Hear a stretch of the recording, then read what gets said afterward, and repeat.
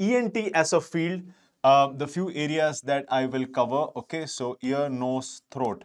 So I'm going to talk about first, how is ENT as a, a carrier, okay? What all can you do? Then I'm going to talk about ENT from your exam perspective, what comes, what doesn't come, and how this particular module is going to help you. And finally, I am going to come to the money.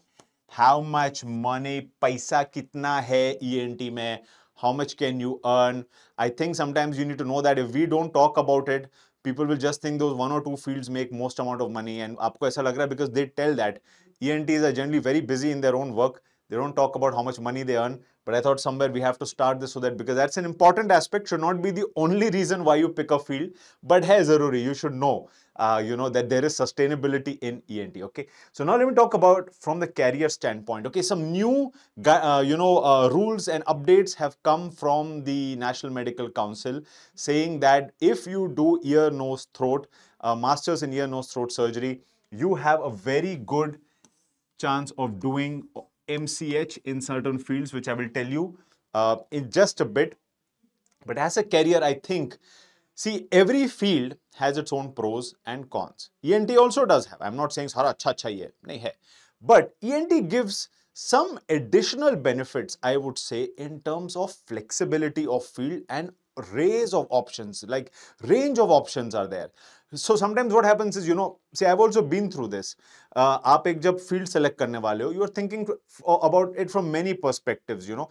But somewhere in your mind, you're like, see, these are all skill related. ENT or any other field, or as a doctor, there is skills, either communication skills or thinking skills or hands-on surgical skills. We're a skill-heavy field. What if you don't like the field after you take it? what if you're not good at those skills? What if other people go do better and now you've taken a field and your skills are not there and now you are stuck? You won't, you won't grow in that field. ENT gives you a little additional benefit over here that the field itself has four subjects. It has ear, it has nose, it has throat, and it has head and neck. Okay, it has four four subjects in one, four fields in one. So each comes with its own skill sets and a career opportunity. So if you don't get into one or you don't like one, you have three other things to fall back to. Like ear gives you a lot of microscopic skills. Microscope big skills are required in, in ear surgeries. You have to put a microscope, pass in small, small instruments into the ear canal, do drilling in the mastoid. All of that kind of thing is what ear surgeries require. A skill is microscopic skill. Nose requires endoscopic skills. You need to pass in a long tube, a camera that goes inside the nose, see all the sinuses, sometimes even go up to the skull base, into the brain. Advanced nasal, uh, you know, skull base endoscopic surgeries. Endoscopy skills are very much like gaming. You know, pass a camera, see a screen, and you know, you have to navigate. Skills are very different. Throat, you have both uh, microlaryngeal surgeries as well as endoscopic surgeries. Also very recently, endoscopic ear surgeries have also come. So within each field also you're getting multiple types of uh, surgeries. But let us say you will ask me, uh, Dr. Jagadish, what if I do, I'm not good at microscopy? What if I'm not good at endoscopy? Don't worry. There is open surgeries, open, standard open neck head and neck surgery, thyroid surgeries, laryngectomies, cyst removals, you know, a lot of these surgeries that can be done are open neck surgeries. I don't know if there's any other field that gives you so many options in surgeries itself to do microscopy, endoscopy, open neck surgery. And then you say, but what if I don't like surgery? I don't like it. What if I, I think I like it, but afterwards I'm not going to do good in surgery? Even fine. ENT is a very good physician opportunity as well. You can become uh, you know, let's say allergy specialist. You can become a voice specialist. All right. Uh, you can also become a vertigo specialist. You can just practice ENT as an OPD, as a physician field. A um, uh, lot of pediatric ENT comes. Okay, so pediatric ENT is another very good, uh, you know, opportunity that is uh, growing. So just as a physician also you want just opd practice then you can do this. Teaching there are a lot of opportunities as well because of med medical colleges and platforms like these. So i think ent gives you a lot of diverse fallbacks. Very hard to be bad in everything if you're not if you're uh, itne sab mein bhi agar aap kuch nahi kar rahe then of course you can try some stand up comedy. But anyway jokes apart uh, this gives you a lot. Now, suppose you want to study further. People think ENT is an end field. Like you take general surgery and medicine thinking that you can do super specialization. Now that has changed. After ENT, you can do MCH in these areas. You can pick neurosurgery. Yes, if you've done your master's in ENT, you qualify to do MCH in neurosurgery. Makes a lot of sense and gives you double benefit. See, I have worked with neurosurgeons who call me because they don't know how to do the endoscopic approach for skull base surgery. But if you have done ENT and do MCH neurosurgery, you have the endoscopic skills also as well as the other neurosurgical skills that you will develop. You can go into surgical oncology and uh, head and neck onco surgery so surgical, onco, and most importantly, you can also go into plastic surgery, maxillofacial surgery. All of these MCHs you can do after ENT. So guys, please correct anybody who keeps saying that uh, it's an end branch. Uh, you know, there is uh, not, oh, money ka man cut gaya because of my shirt. All right. Let me write that again. Yaar, money ke saath humko aisa nahi khela chahiye. Money. All right yeah so uh, don't, uh, when anybody says that, you know, ENT is a dead branch, it is an end branch, you have no future, you cannot have any other options, just take a picture of this slide and show it to them, okay? So there is a lot and lot of uh, future opportunities uh, in ENT that you are not aware of. Now, from an exam standpoint, okay, you must be thinking, yeah, okay, 5 to 15 questions are typically, uh, you know, asked in, uh, in, in ENT. Um, generally, uh, the last few years exams have not been very, very difficult. We have covered everything, uh, almost 100% hit rate, even in 1.0. Uh, but in 2.0, we're going to try to make it a little more clinical specific. There are a lot of images that are being asked. Radiological and scenarios.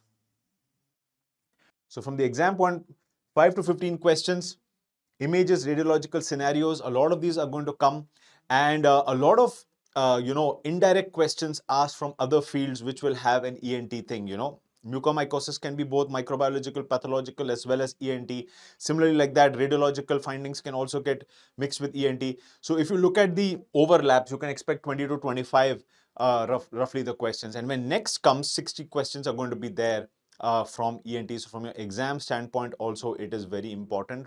As a doctor, whether or not you pick ENT, you will have these very nice relatives and friends who are going to call you for their common colds, ear blocks, allergies and sore throats.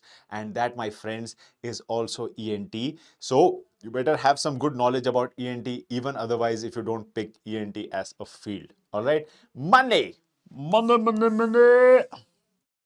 Now, First, let me address why is it that some people or you know, I don't know how you students get to listen to them probably because you know they're either some junior faculty in the colleges or some of your seniors who have heard my friend my uncle like that say that you know ENT is saturated and there is no money in ENT guys look this uh, response typically comes from people who are in the job profile. Now first I want to clarify doctors don't have to be employees if you are thinking your only way in future is to work as an employee in a hospital, then that is a very, very small part of the entire healthcare fraternity. Majority of doctors work in their own establishments. Being a doctor does not require, uh, you know, uh, you to be, uh, you know, um, employed in a particular hospital. 15, 20 years ago, it was not easy for a doctor to get all the equipment and the infrastructure and that's why that was the only way that people would do is get a job in a hospital or a medical college and then grow their careers. Now it is very different technology. I keep endoscopes in my pocket. I can operate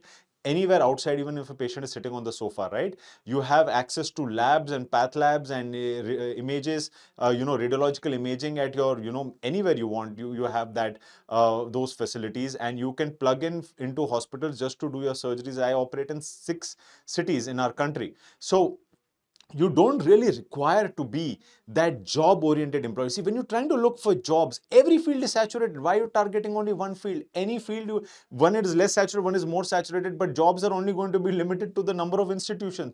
50,000, probably max 60,000, 70,000 establishments are there in our country, right? There are about 700, 800 medical colleges, rest are all private hospitals. Now, that's all is your job pool. You may go abroad or you may go to US or UK and then they're also going to come back because everything is becoming saturated and economically uh, unsurvivable, uh, many places abroad. Uh, but you can set up something on your own and if you set up something on your own trust me guys uh, there is a huge earning potential as well as an impact potential that you can create. Now let me stop you right there one guy is saying mere dost ne khola uska kharab gaya wait wait guys wait. You require a lot of common sense. You require a lot of uh, intelligence uh, to be able to start something. Now, if you are going to open something right next to a big doctor's uh, facility, you may not get patients. If you are not good at seeing your patients, you are rude to them, say, I am a topper, I came from this college, I write there, I'm not explaining to you, you are not going to get patients. It's a human skill. If you are good and your patients are getting good results, you have good word of mouth. Trust me, any doctor in any field will survive anywhere and grow in their own space, right? If you're not good and you have found a location that is strategically not right, one to two kilometer radius mein, you should not have another bigger facility or an option for a patient so that then because nowadays people choose convenience. If you're going to say for 1.4 billion people and the entire country there is an ENT doctor in every lane then you are absolutely wrong. Only 18,000 of us. 18,000 Maximum by the time you clear, there'll be, uh, you know, 19,000, 20,000 in the next four or five years. That's all. We grow at a very slow rate because seats are so less. So 20,000 people at the max. Actually, we're only 16,000, 18,000, but 20,000 at the max for 1.4 billion people and an ENT is there in every lane. Yeah, no, absolutely not. Maybe they're concentrated in cities, but why do you want, you can find places in cities where you have this kind of a scenario. Two kilometer radius, no big facility, and there is high density of people, you know, you can do some good you know establishment over there clinics are not very expensive to set up also oh, पास पैसा नहीं है अब iPhone से reel बना रहे you know how much you spend on an iphone you can easily set up your clinic right? So you uh, sometimes nowadays you get small shops for rent 5000 to 15000 25000 maximum 30 to 40000 per month. And if you see about a good 100 150 patients a month which will not come in the first month but 4 5 months 6 months later you will easily be able to cover a lot of the cost from that and the surgeries that come out from it. So don't don't uh, you know think about i need to spend a lot to set it up can be as low as 5000 in some places. I have set up clinics and that amount of money and can be as high as 40 to 50000 if you're going to a large city as well. Equipment wise you don't need very much expensive equipment. Maybe another 25 30000 spent for equipment and you will be ready to set up and start a full-fledged ent practice. Attach yourself to hospital. No hospital will say as a visiting doctor you cannot come if you are bringing a patient into their operation theater, anybody nearby will, will accept you. Okay, so you can just say, I'm going to come and operate in your hospital. If there's insurance coverage, I will do that in your hospital. I myself am a visiting consultant in so many hospitals, but I run my own clinics as well. So that kind of a model works very well and you can earn a lot of money there. And also, I'm not saying just do this for the money. You create a lot of difference in people's lives. You treat them, you create an impact. And that is the main reason why we got to be a doctor. Money is just your sustainability part and also, of course, a quality of life aap chahte hain. So now, let me take this money into two routes. One is if you were in private practice. One is if you go into the medical college or the employee job route. If you go into colleges, once you finish your ENT, you will join as a senior resident. Senior residents can typically earn anywhere between 80,000 per month to 1.5 lakh. I'm giving you this range because unfortunately in our country, we don't have a very standard division some states pay better than the others but 80000 to 1.5 lakh is where a senior resident would get now in 2023 and then um, the senior resident will then progress to an assistant professor, which would be 1 to 2 lakh, and then that becomes associate professor, which could be 1.5 to 2.5 lakh. Sometimes associate professors can also make 3 lakhs depending upon, uh, you know, the medical college. And then if you are a prof and above, it can be anywhere between two to five lakhs, depending upon the college or the corporate, uh, you know, or the hospital that you're working in as an employee. Many of them will also allow you evening practice, uh, or they don't give a non-practicing allowance, and your your practice also adds up uh, to this. So this is kind of uh, the range uh, that I could say from an academic standpoint. But if you go into private practice in your first, let's say five years, uh, you have a potential to earn anywhere between one to three lakhs. Okay, because this whole journey can take 10 years. But uh, after that, when you grow, the po overall potential I've seen, see, I'm telling based on, uh, you know, some personal experiences and also some doctors that I know who do very, very well um, you can earn as high as 12 to 15 lakhs and sometimes up to 20 lakhs a month. Uh, and otherwise, and good average, you know, for a, for an ENT surgeon who's uh, good in their skills, well established and seeing a lot of patients, uh, earning between uh, 5 to 7 lakhs is not really a very difficult thing. And I'm talking about these are monthly uh, earnings. Okay. I know you can do cochlear implantations. I forgot to mention there's also implantations that you can do, uh, you know, implants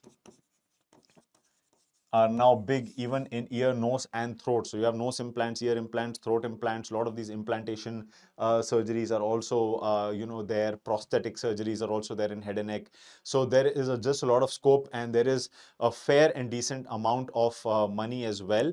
Uh, the reason probably some people say this is because either they are not, you know, probably up to the mark with their skills, or you know, they've taken a job in a place where there's not much volume load, and they feel just we're just doing wax removals and very simple, simple things, and they feel there is not much much growth there. They are frustrated. They're not having the passion for the field. And maybe they're saying these things uh, and uh, you're taking that in a very generalized uh, manner and saying that, yeah, ENT is saturated. ENT has no future.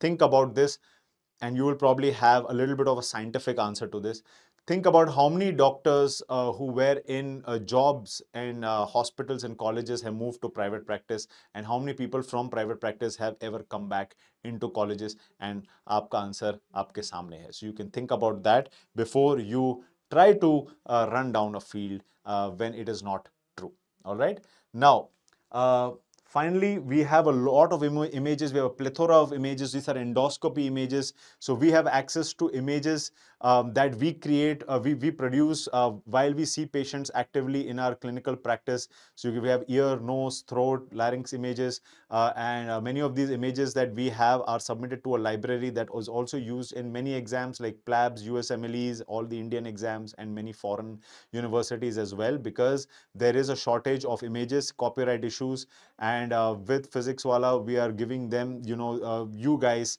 uh, actual images of patients that we have uh, you know um, you know done endoscopies and gathered them uh, and we're also going to share this on social media platforms with you so that you start getting used to seeing what an eardrum looks like what a nasal cavity looks like what a throat looks like so that it is easy for you to answer a lot of these image based questions. All right guys. So guys it's going to be exciting. We're going to be doing this um, you know uh, 2.0 uh, with a lot more concepts a lot more clinical uh, you know relevance so that you are uh, not only good for your exams but also just as a doctor you have the right perspective for a field like ENT and uh, you excel in it. All right. So I wish you all the best for the rest of the sessions and I hope you're going to be with me. Don't skip the videos and just read the notes and then you know take a conclusion that the notes are very very short or brief. Um, we're also going to teach you the concepts which complement the notes notes not just alone all right? Uh, so be with me trust me all right? Um, we are here uh, only to help you. We are not over uh, here to you know get something out of you which uh, is bad for you right? So we're here to help you and hope you trust me in that all right? Take care. See you. All the best